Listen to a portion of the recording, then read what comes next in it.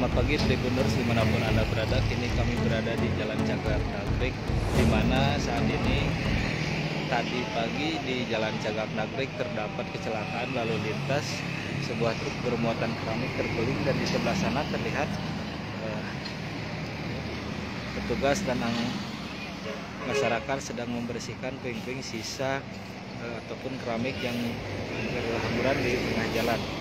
Adapun truk yang terguling telah dievakuasi oleh petugas dan jalan yang menuju ke arah Tasikmalaya dialihkan ke arah Garut dikarenakan jalan yang menuju arah Limbangan ataupun Tasikmalaya tertutupi oleh kendaraan yang terguling. Adapun arus lalu lintas terpantau lancar meskipun ditutup tidak ada kemacetan karena eh, kendaraan dialihkan menuju ke jalur yang arah Garut.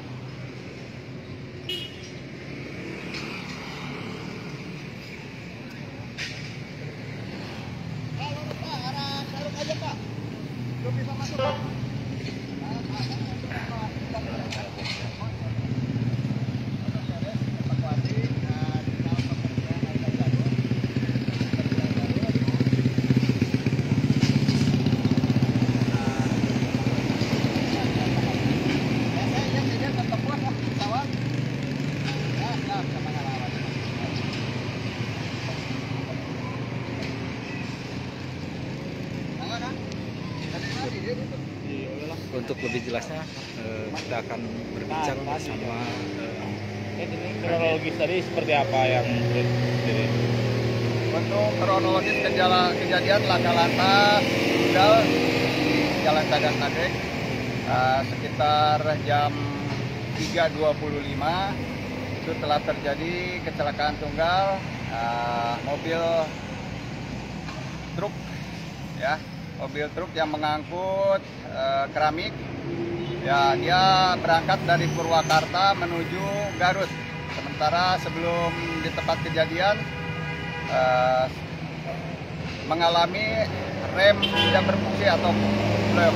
Jadi untuk pengemudi akhirnya tidak bisa mengendalikan kendaraan dan terjadilah kecelakaan mobil terbalik. ini bang ada korban nggak bang Eh, sementara ini untuk korban tidak ada, Eh, untuk supir luka ringan. Akibat akibat ke laka tunggal ini seperti Akibat apa? kecelakaan tunggal itu bisa, bisa. adalah rem tidak berfungsi atau rem blok. Tidak ada korban ya Pak? Tidak ada korban. Untuk arus lalu lintas sendiri Untuk arus apa? lalu lintas sementara dari tadi eh, dini hari tadi dilakukan CB penutupan untuk arah Tasik sehingga untuk kendaraan diarahkan ke arah Garut. Untuk evakuasi sendiri seperti apa nih ke mana? Untuk evakuasi tadi dilaksanakan karena mobil itu terbalik, ya bannya di atas sehingga menggunakan derek sehingga dibalikan dulu dan akhirnya alhamdulillah eh, derek sudah bisa mengangkut kendaraan yang eh, terjadi tadi ke Polsek diamankan di Polsek. Berapa lama komandan eh, evakuasi? Untuk evakuasi itu diperkirakan setengah jam tadi untuk kendaraan. Siap. Terima kasih komandan. Mangga mangga.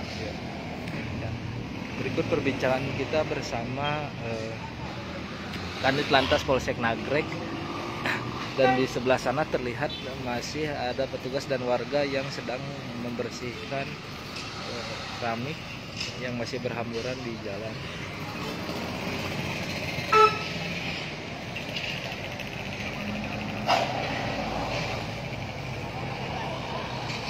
Adapun untuk truknya sendiri telah dievakuasi setengah jam yang lalu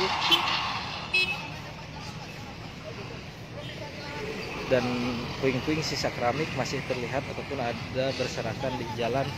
Kini petugas bersama warga sedang membersihkan jalan dari puing-puing ataupun keramik yang berserakan di tengah jalan.